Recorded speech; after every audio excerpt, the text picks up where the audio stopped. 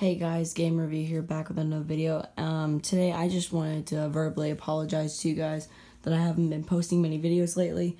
My computer is in the repair shop, and I haven't been able to make any videos.